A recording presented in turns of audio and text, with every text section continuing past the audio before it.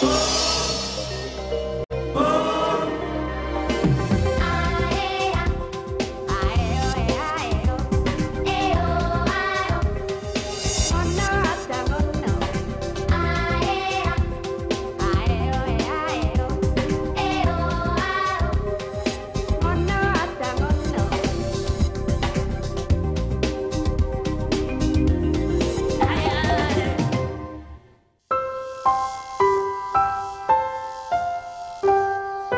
是大台北地区饮水的源头，盛夏的暑热包围笼罩，这里却是林木遮荫，溪流清浅，北台湾难得的清凉地界。一位我们久仰的前辈，领着我们来到新北市双溪区南端，一个有如三四十年前宁静山村的小地方，集诗人、作家和自然观察者于一身，他眼中的山水植物、风土人情，都别有一番风味。有一对夫妻同样钟情这里的自然和人情，在一千两百平的土地上栽植花草果树，开设一座只有三个房间的民宿。七年来，植物慢慢成长，他们的理想也逐渐开花结果。我们很幸运地赶上了丰收的季节，这里的百香果熟透落地，我们光捡都捡到腰酸手软。民宿主人还带着大家做手工面包。看着面团发酵，送进烤炉烘焙，非常有成就感，而且好吃到可以把亲手捏的台湾三两下吞下肚。在高温不断破纪录的盛暑，北台湾浅山还有这样一个山风吹拂、溪水洁净的清凉地界。难得的是有深谙旅行门道的作家同行，双溪的风景更是别具情味。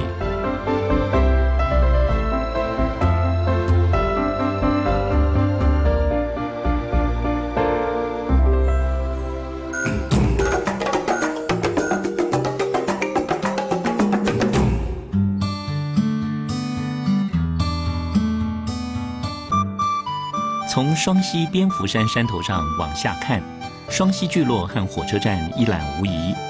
一列由台北出发的列车恰好要进站，和一般乡镇车站比起来，双溪站的车道和月台规模不小。原来它算是宜兰线上中等规模的车站，普通车、区间车、莒光号和一部分的自强号列车都会停靠。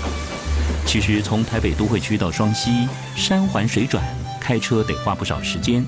不如利用车次不少、便利的铁道运输系统，晃晃悠悠、轻轻松松到双溪。而且出了双溪车站，这里的交通有意外的乐趣。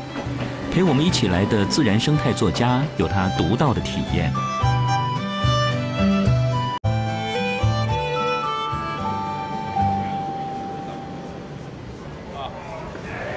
双溪车站哦，老师好。你好，你好，你好。这个暑假到了，就可以发现游客很多，而且很多小朋友都来到双溪这边旅游哦。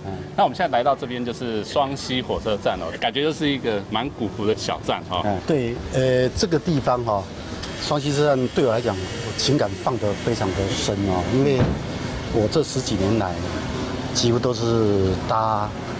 火车从台北来到这里，嗯，走出来以后，比如说前面通常会有五辆计程车。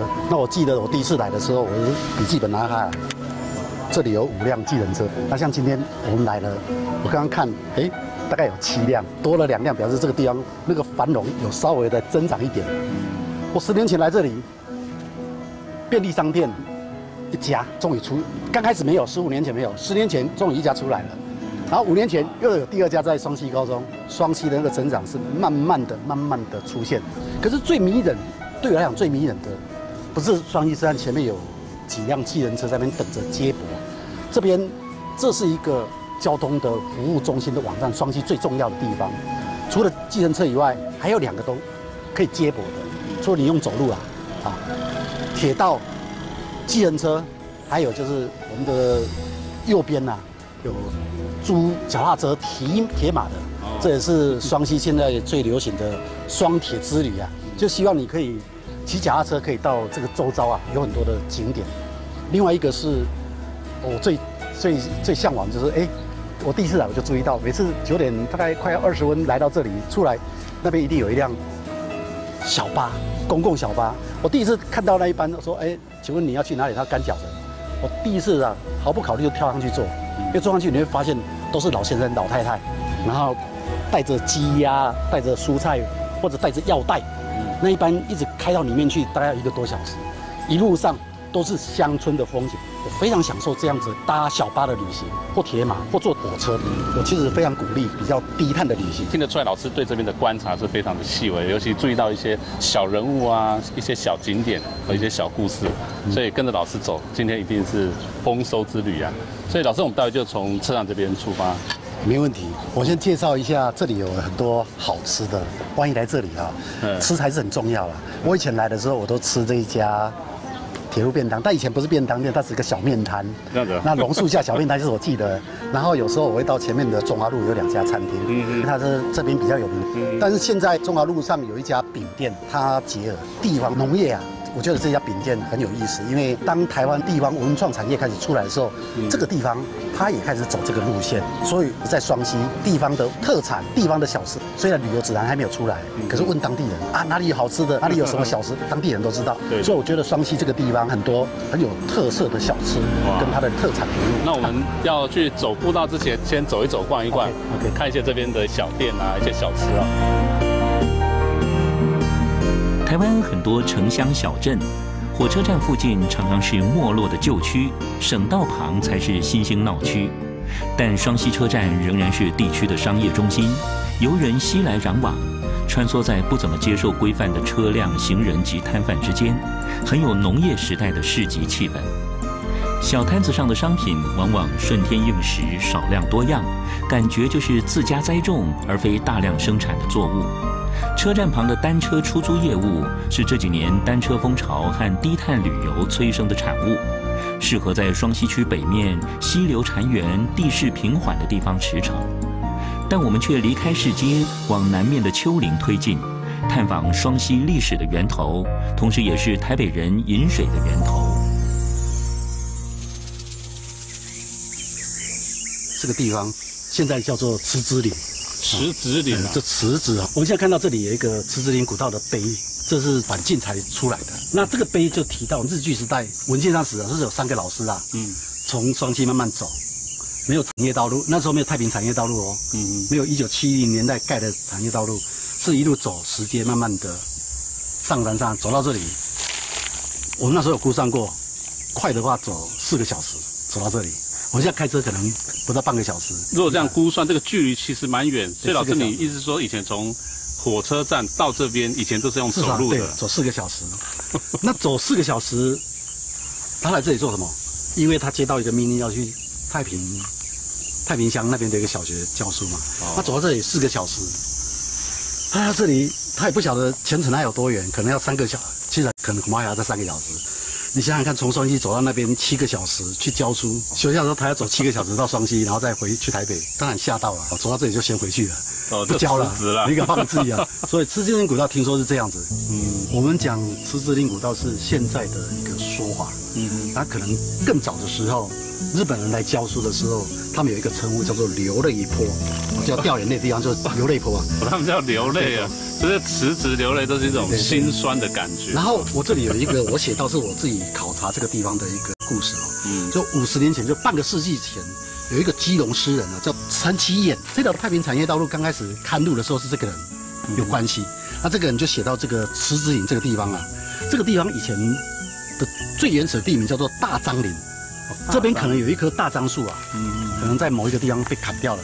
那以前来的地方叫大樟林，所以他写的这首诗。大张峻岭玉林空，险坡思亲泪自胸。就在这里，他也会掉眼泪。然后暗自伤怀皆喜起，今无老母问行踪。就走到这里，他会有一种感慨啊，就是感慨这个地方的一种荒凉。嗯，哦，他来到这个地方，然后知道这个地方大大张岭有这样的环境，他也这种感慨。那这个感慨，当然我相信这个陈其演。这个人一定有听过这样的一个故事，所以才会写这首诗。哦，好。所以老师才会把它写成遥远的双太对对对，公路就。在讲这个地方。不过我们现在来到这地方，其实很难去想象哦，就是现在交通那么方便，车子来来往往，对对对所以。过去的人来到这边是充满那种心酸、那种一种悲苦哦这样子。其实现在走这条路两个小时到太平，也会有这种感觉，因为走这个路就是很荒凉。对，老师这边就还有一些步道哦，嗯那旁边还有一间小庙啊。双溪这个地方哦，土地公庙特别多。你看它的双溪乡是，双溪是全台湾土地公最多的地方，村头村尾三角山林都有土地公。还有一个特色是日据时代留下来的土地公庙特别多。你看大张岭上多什么福德，哦，双泰山城及什么，这大张岭为什么写大张岭就是讲这里，所以他会才有这首诗。哦，然后双泰为什么讲双泰，就是讲太平双溪啊，所以叫双泰。嗯，双泰产业道路在这一条。所以有的时候可以从土地公庙去发现说过去它大概一个变化，就历史的变化，就是或者说产业的一些变化，对还有年代的一些不同这样子。有时候看那个外形，我大概就知道是清朝，或者是日据时代，或者现在都看得出来。你等一下再往下走，每一个都非常朴实、非常低调的一种庄严。现在来到这边方便多了哦，那后面是池子岭古道，有机会的可以来走一走，体验一下那个老师的心情。辞职岭的说法有很多种，有人说是日据时期，也有人说发生在光复之后。我们以自己的惰性推断，辞职事件应该常发生，日据、光复都有，才合乎逻辑。我们只是踏上辞职岭的一小段，看看福德祠，和土地神打个招呼，再往上走，摄影组的几位大概就要辞职了。双溪一带福德祠特多。双溪地方志的编撰者表示，他们粗略计算，双溪全区大概有一百多座土地祠，荒山废村、人烟不至的地方还有多少，根本无从统计。离开辞职岭，我们一路往南继续攀高，这里是双溪境内面积最大的行政区，但是地广人稀，完全想象不到一百多年前的清朝道光年间，先民已经到此开垦，留下不少开垦的痕迹。今天比较幸福哦，不用辞职了，因为坐车就可以到这边了，比以前的好多了哦。老师，我们现在到这边就是到虎豹潭的登山步道了。对，这个虎豹潭的登山步道在这里。嗯，其实我们从池子岭古道下来，会有看到一个庙，是以前的黄千总。太平这个地方最主要的开拓者是他，他带领的官兵跟当时的移民在这边拓垦，对，就有一点像宜兰有吴沙。嗯，但是那个地方拓垦之外，还有一个地方就是虎豹潭这个地方。目前这个地方才是真正最主要的开拓的中心点。所以我们在虎豹潭这个开拓的地方旁边，我会看到一个土地公庙。它的存在可能是因为这边有一个产业，我们来这边就是求神明，希望他保佑这个地方。所以这土地公庙后面就是一块这个山谷的大梯田。哦，我想这个土地公掌管的是这个地方，这个山谷。等一下后面是有耕作的地方哦。对哎，老师，那像这规模比较小，可以进来看一看吗可？以可以，我们可以看一下。我、这庙就比刚刚看那个稍微小型一点，再更小一点。对，那造型也是很简单、还是哦。砂岩嘛，砂岩的，然后刻出那种形状的哈、土地公庙，然后这个造型，感觉还是日据时代的嗯留下来的。像这样的一个造型，在双溪、平息很多，但是有的土地公庙它会写年代，这个没有。而像这种比较古老的土地公庙里面，通常比较没有看到土地公神像哦。基本上都不会有，就是写个简单的，这比较接近地基主的宇宙一种的，哦。用拜了，这里面不会有神像，因为在外外在这种比较偏远的地方很难，所以有时候这样的一个庙，我有时候开玩笑，就是这个庙就是土地公，哦，所以它就是刻在石头上面写福德正神，它本身就代表一尊神像的感觉哦。而这土地公都是用当地既有的石头去把它雕塑而成，可是每一个地方拓垦，它就是一个土地公庙，因为越荒凉的地方，它越需要有这种土地公庙保护。老师，像你一般如果到土地公庙，你会拜拜吗？会稍微拜一下吗？啊，一定拜，一定会拜啊。一定拜，而且非常尊重，就凡庙必拜，凡大山、大树、大石也都会拜，因为爬山爬久了，对这种自然的灵性跟神性越来越相信。来到这边的土地，那我们也拜一下，我们再走这个虎豹潭步道嘛，哈、对。好，就保佑大家平安。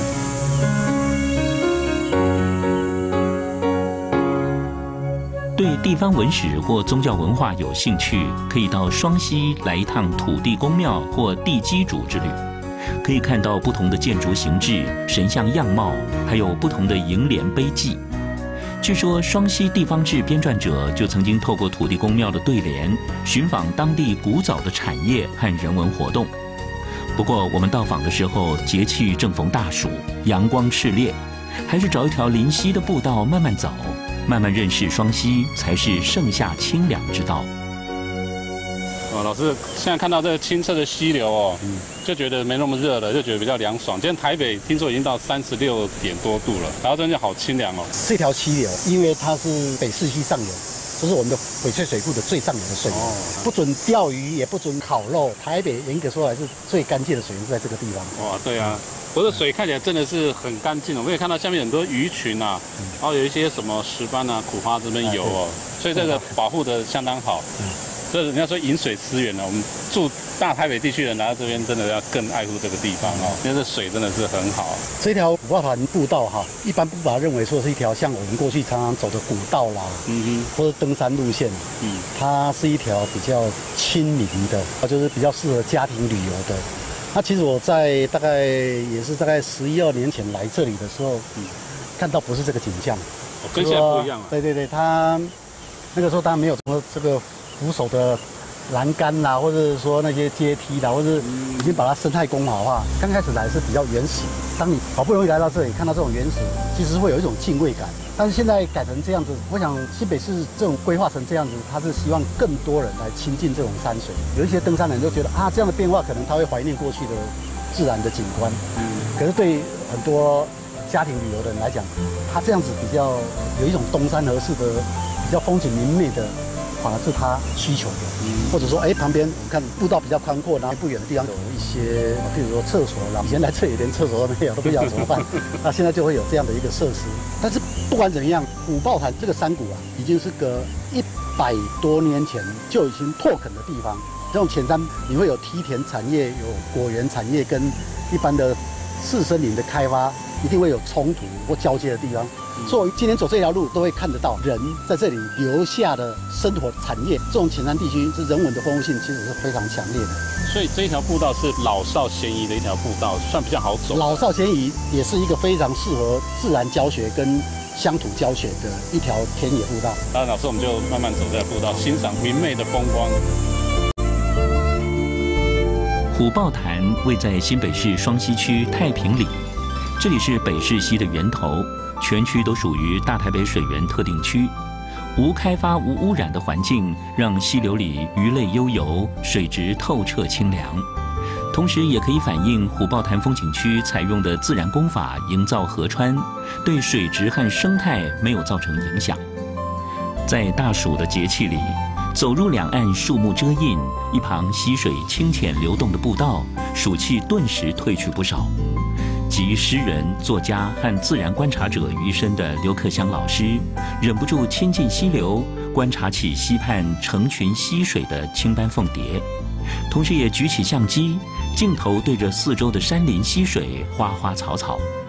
就像刘老师说的，整治过后的虎豹潭，也许不再是完全的原始野溪，但自然在这里依旧生机盎然，而且还更容易亲近。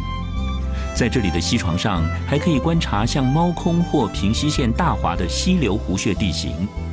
这些由溪水、砾石和河床岩盘相互作用，历千万年雕凿出的地景，让我们对双溪太平一带的生态历史和人文活动更加好奇。双溪车站位于新北市双溪区，是台湾铁路管理局宜兰线上介于贡寮和牡丹之间的车站。车站成立于民国八年，由于双溪与礁溪的日文发音接近，所以将双溪车站命名为顶双溪驿。民国五十六年改回双溪，是台铁二等站，与八堵南港等车站同级。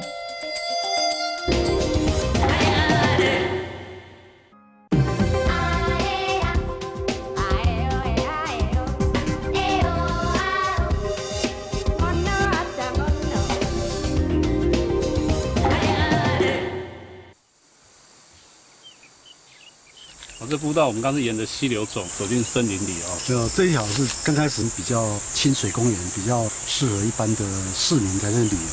嗯。可是慢慢离开这个西岸不远的地方，接近农家的垦地，嗯，我们就会看到一些比较庶民的原来的产业。嗯譬如我现在走到这个地方比较阴凉的地方，哎，你就看到这一棵我很想介绍的一种水果树。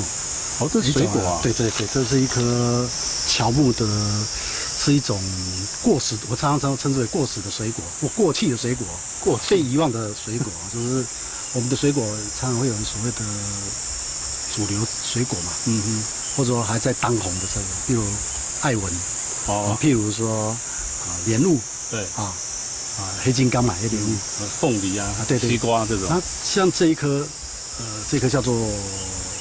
蒲桃，蒲桃，它是蒲公英的蒲，嗯哼，桃花的桃，其实它跟莲雾是近亲，嗯，那莲雾跟葡萄都是从南亚在很早年代从华南到了大陆，中国大陆再引进到台湾来，像五花潭这样的西边，或者台湾很多接近低海拔的乡野河岸，就会看到这样的植物。那看到植物，你以为以为就是说，啊，这样的乔木就是在西边长出来的一棵。十公尺或二十公尺高阴凉的树而已，看这个叶子长长，就是水果你也看不出来。对啊。事实上这里有时候它会长出一颗比莲雾稍微小一点这样的一个水果。马介医师来到台湾是在一八七零年代初，他曾经在淡水的菜市场看到一种水果，就是红豆。红豆就是一种咖喱一种一红豆，不知道你有没有这个记忆？我的印象里面我还吃过一种莲雾，里面摇一摇，里面会有咕噜咕噜咕噜的声音。有。那个东西就是葡萄。哦。因为它听起来那个声音就好像红豆，红豆就是葡萄。哎，可是我们现在去菜市场，不要说一般超市哦，一般的传统菜市场，你会看到葡萄吗？你会看到莲雾，会看到土莲雾，哦，绿色的小的土莲雾，但你不会看到黄垢，那个有籽的。可是我吃过，我知道有。还有，台湾虽然没有，可是我到岭南，嗯，到福建，到一些广东的乡下，我还看到有人在卖黄垢。那为什么以前会很流行，现在不流行？以前流行是因为这种树你种在那里，你不用理它，它自己就会长出来，虫很少。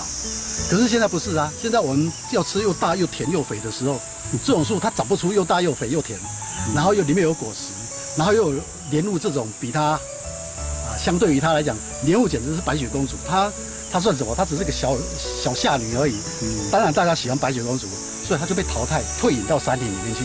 我们现在看到各种白雪公主、黑金刚、黑珍珠什么都来，谁会还记得？所以这个等于是被遗忘的水果，老实说被遗忘的水果，以前的水果树。所以它在过去是引进来台湾栽植，而且在菜市场卖的。现在叶子大家认不出来，叶子就是长长尖尖的这样子，这是它的一个特征。因为没有长果实，不容易辨认。通常我是从叶子去辨认它，但有时候树皮也可以看得到啊。但主要还是从叶子。大概夏天的时候，通常都会长出果实来。它是台湾我所认识的果树里面最明显从市场里面消失的一种。听刘老师谈葡萄有声有味，似乎还带着淡淡的感伤，对那些已经消逝的往日时光。即使我们对市场里葡萄的印象似有若无，但对他描述葡萄的神情却印象深刻。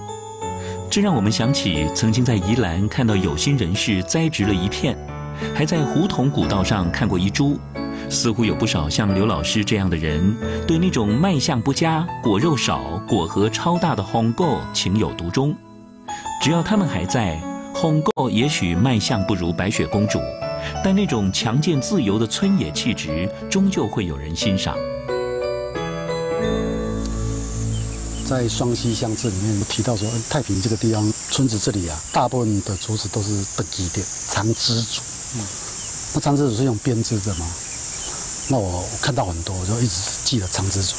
那一次走到这里，我就跟一些年轻的朋友说：“哎，你看，这就是长枝竹，就是一般我们在其他乡野看到的，可以编织的，编织很多器物的家具用的，都是用这种竹子。刚好一个老人走过，不是啦，这那也是登基店，这是帕哈马店啊。他这一讲我就醒悟，我是看到双溪像这些长枝竹，我也认定它是长枝竹。可是竹子本来就是不容易辨认，那我们只能有时候是当地人讲的可能会比较准，因为他从小就种这个东西。但是帕哈马蝶，他讲帕哈马蝶，我为什么比较相信的原因，主要是像长枝竹啊、蓬莱竹，中南部使用的比较多，但是帕哈马蝶北部比较多，所以他说啊帕哈马蝶，我自己也才醒来说啊，说不定我说错了。真的是帕哈马蝶，帕哈马蝶，帕哈马？帕哈马蝶，哦，没有没有中文的，用台语怕他妈怕妈登基，登基我们比较玩要长枝，长枝竹这样。啊哦，所以你说那阿伯就直接指这样。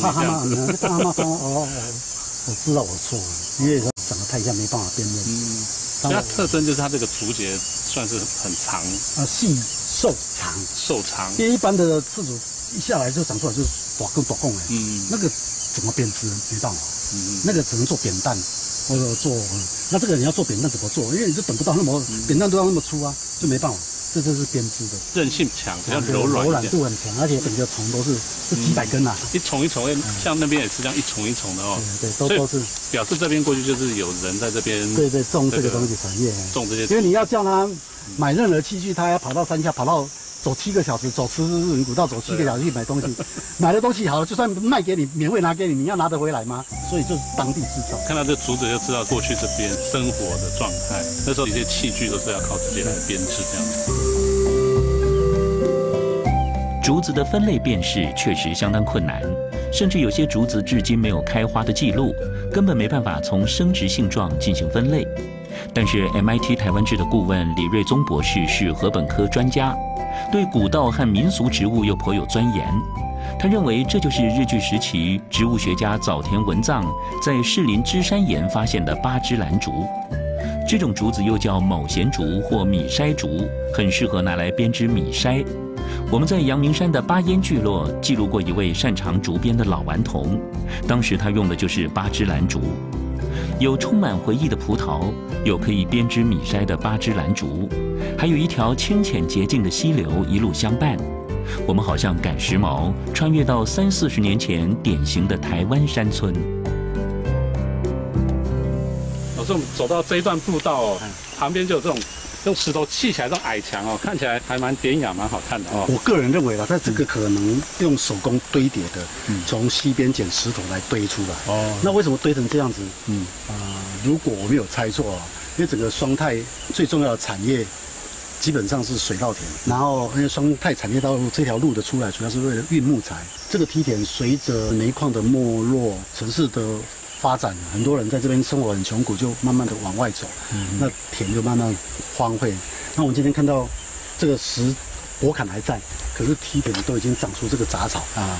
嗯，那以前还有人写诗哎。老师有诗了哦。对对，太平行观荒田有感，就是昨天人家看到荒田的，哦，他也有感。那这个是一个当时记录的人，哦他在一九七七年，一九七七年就是三十多年前了，他这样写：阴岭连峰流北市，北市就是这条溪，是北市溪。对，抱潭灰瀑竹千层，抱潭就是谁？虎豹潭。对，五抱潭。哦，十人助力三分二，就十人就是我啊，现在助力 三分二在前面的田，嗯啊，三分二这个田，探接愁田任废根，就是看到田啊废弃了、废掉了，就长出这个任废根，就写了这样的一首诗。啊，这首诗是谁写？就是这个一九七七年这一个文献的写写诗的人，他是一个写呃这个人叫做唐宇。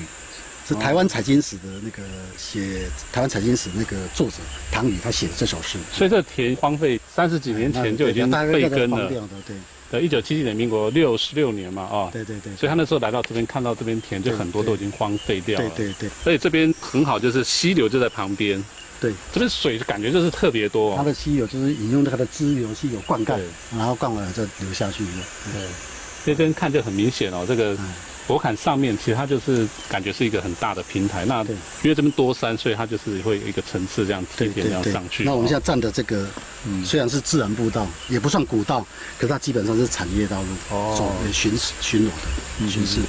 所以这条虎豹潭步道真的是老少咸宜哦，其他基本上是很平坦的，真的是很平坦，就是沿着溪这样走，它只有一小段摊掉，稍微叨扰一下。对对对，所以这基本上大家来走都还蛮安全的。对对，它基本上是老少咸宜的清水步道，嗯可是也是一条自然教学步道。我们一路上可以看到产业，对可以看到贝根的产业跟环境的关系，然后还有一些历史的遗迹残留着。有机会的话，双溪本身的自然环境就非常好，它这边有很多条步道，像虎豹潭这条步道就真的蛮适合大家来走一走的，亲近这个山水。炎炎夏日，很多人挤到大卖场、百货公司里面吹冷气，人挤人，声音嘈杂，空气恶浊，一不小心就刷卡买了没必要的东西。促进经济成长有功，减少资源浪费却是无助。何不来这里走走？这是圣蜀里的清凉地界，就像刘老师念的那首古体诗里另外两句：“溪流清，可观鱼跃；山货寂寥，绝鸟声。”如此自然美景，大大有益身心。如果担心好山好水好无聊，不妨寻幽访古，到寿山旧桥上摩挲摩挲前人碑记，探讨一下寿山宫和寿山桥的关系，然后听听溪声，观察虫鸟植物，悠哉悠哉过他淡定的一天。其实双溪的自然人情皆美，一天绝对走不完。这时候能有一个幽静雅致、与双溪的气质相契合的落脚之处，那就更完美了。清道光年间，头为守备黄庭泰千总，下任后招募佃户入垦双溪，在地势平坦开阔的地方拓垦，称为大平。之后发展为如今的太平聚落，是汉人垦殖太平之始。当地人尊称他为千总爷。民众感念他的开庄遗泽，民国七十七年在双泰公路右侧兴建面积约四平的总爷祠祭祀。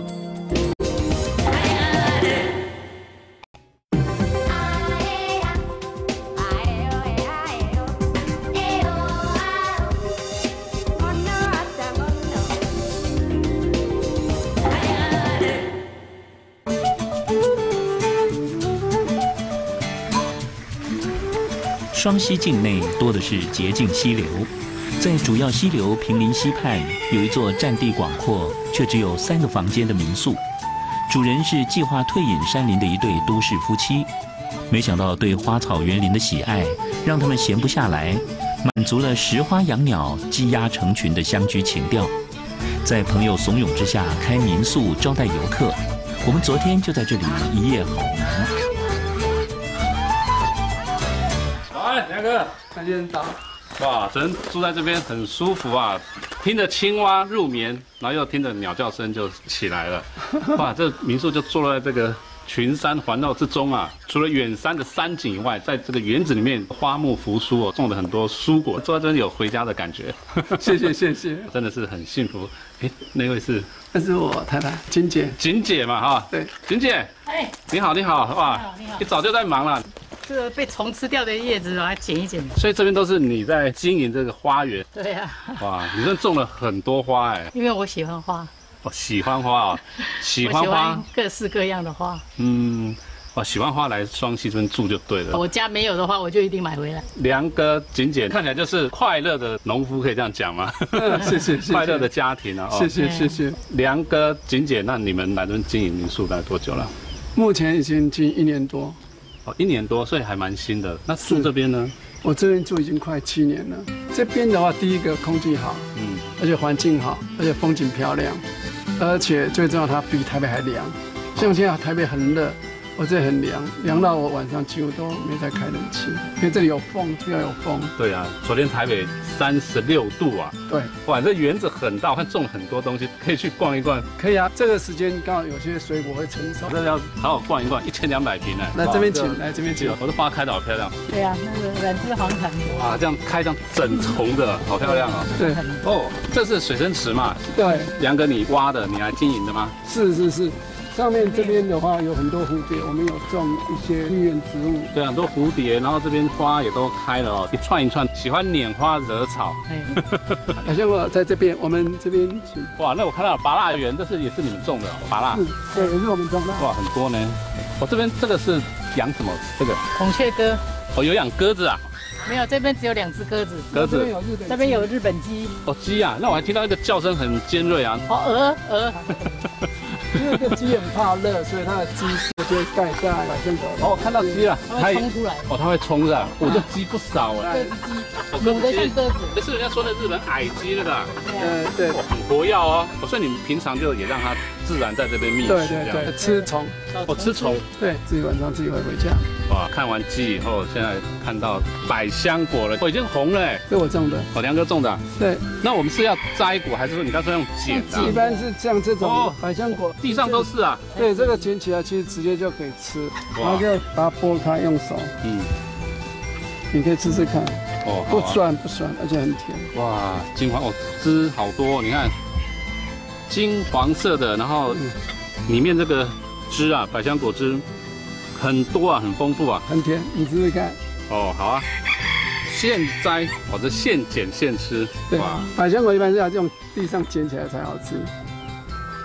哇，酸酸甜甜的，真的好吃哇，好吃！哎，它那个百香果的香味好浓哦。对啊，这味道是纯的，因为是真的百香果。哇，这大概是现在是七月嘛？对，这可以长到几月？应该可以长到九月。长两个月没问题，还来得及，有空赶快来这边吃百香果，可以到九月嘛，哦，嗯，九月都还会一直长，一剥开就有香味，哦，嗯，好香，好香，哇，百香果真的就是那个味道啊，特别的清香啊，可是地上掉的真的很多哎，不用管你，盆架一定要搭的够大，可是种的尺数不能多，这里二十米的盆架只能种大概三颗而已。景姐吃的津津有味，还是有一点点酸，好 吃。好，那我们就来捡百香果吧。好。听说百香果用剪的，以为要拿剪子咔嚓一下，没想到是从地上捡。在台湾，果子没熟就被摘光光的事情很常见，像这样路不拾遗样的百香果多到手捧不动，真是闻所未闻。捡起来特别有成就感。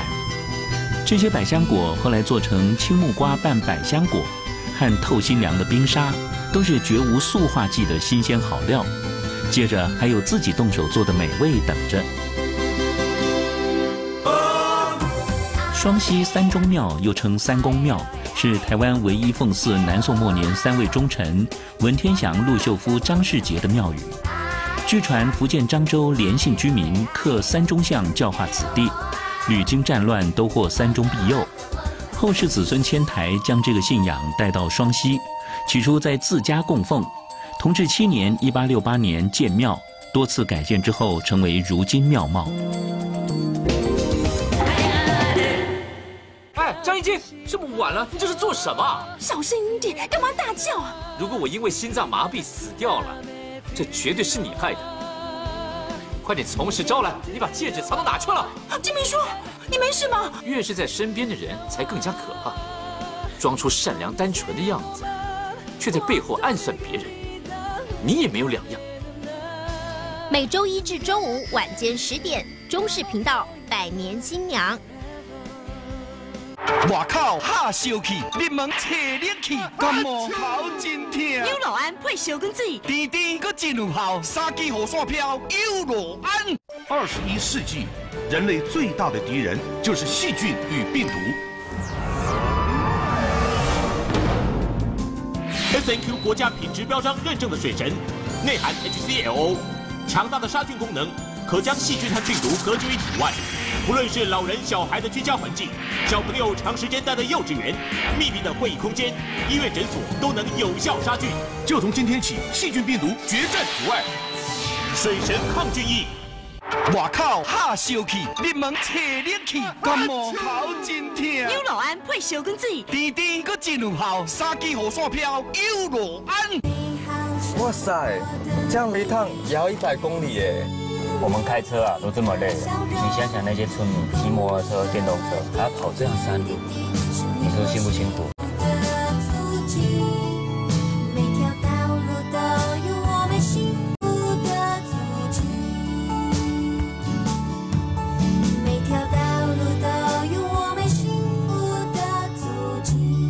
这就是我们为什么要下乡做服务的。二十一世纪，人类最大的敌人就是细菌与病毒。S N Q 国家品质标章认证的水神，内含 H C L O，强大的杀菌功能，可将细菌和病毒隔绝于体外。不论是老人、小孩的居家环境，小朋友长时间待在幼稚园、密闭的会议空间、医院诊所，都能有效杀菌。就从今天起，细菌病毒决战体外，水神抗菌液。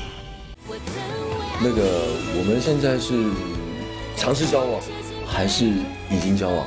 你昨晚没有回家，我担心了一个晚上。我们去谈生意。那你们住哪里啊？对我来说，现在的你就像家人一样。你知道果果他需要一个正常的环境，你爸爸妈妈陪他长大。我懂你的意思。每周日晚间十点，中视勇敢说出我爱你，带你一起勇敢说爱。你可想好了，嫁到金家做小妾，一辈子再也不能穿红，走到哪都要低正妻一头。求姑妈成全。我已经决定给元宝纳房妾了。妾是奴婢，做管家也正是屈辱，我不会再配上我的妹妹。此事一出，我跟她姑侄情分全都没有了。娘我不会娶她，由不得你，也由不得你，因为我不同意。中式八点，欢乐巨献，金玉良缘。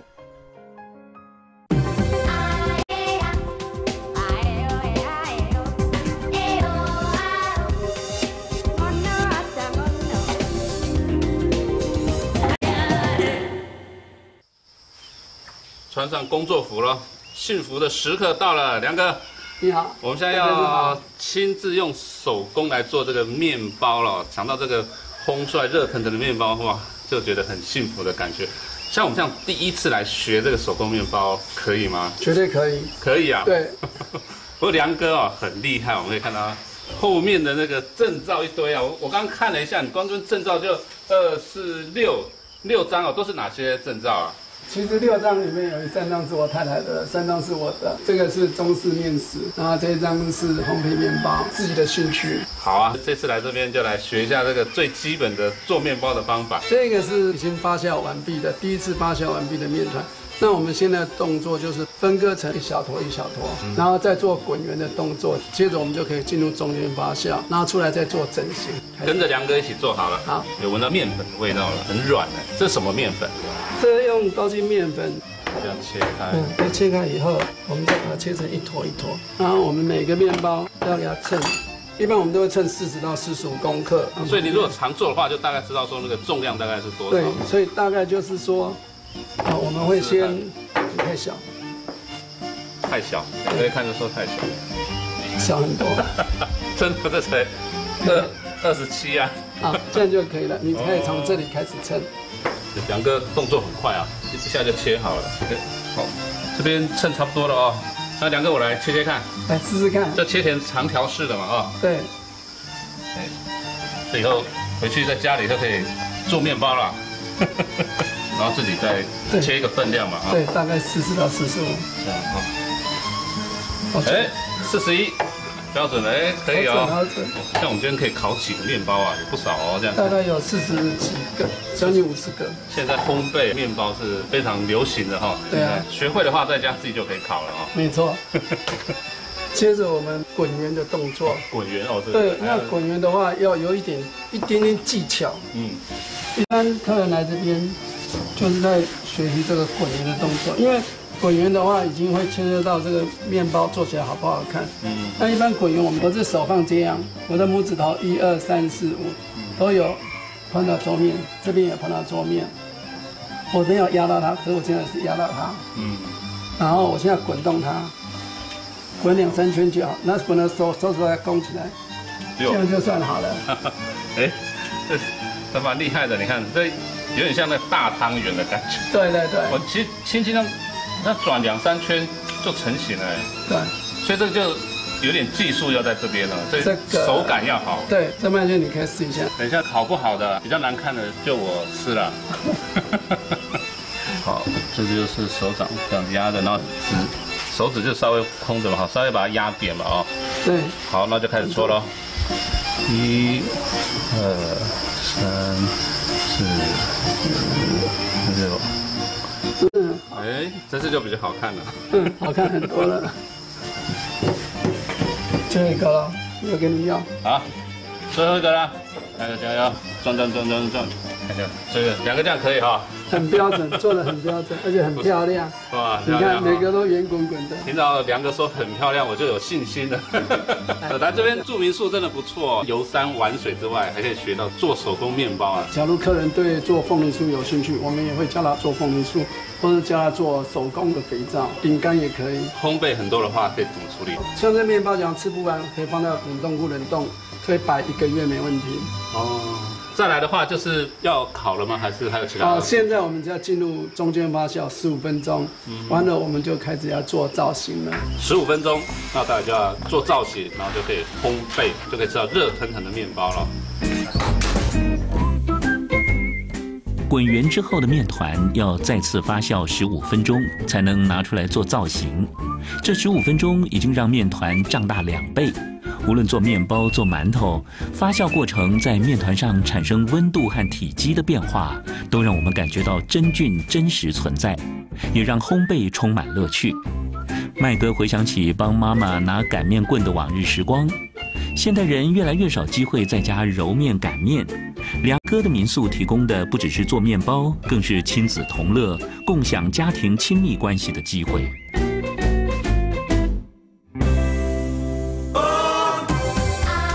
宜兰线铁道是指从八堵到宜兰之间的铁道干线，长度九十三点六公里，属于台湾铁道东部干线的一部分。一九一七年动工兴建，直到一九二四年十二月才全线营运。一九八六年完成双轨化，二零零三年全线电气化完成。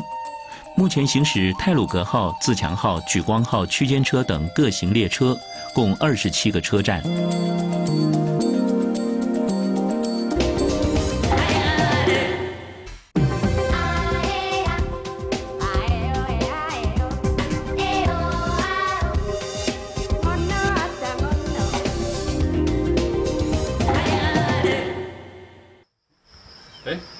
哥，这是要加料的，是吧？呃，对，这等一下我们要做造型面包上面的装饰。装饰啊，可这个应该是可以吃的啊。当然可以吃，这很好吃。像这个今早就自己做的啊。还有这个蔓越莓。蔓越莓，哦，就是自己做造型，然后再用这个来做装饰。对，OK。只是把刚才你做的橄榄形餐包的基本拿出来玩就可以了。所以也是有一些搓揉，自己去捏、去塑形这样。对，做一个台湾啊。不这样量够不够大？做台湾可以可以可以。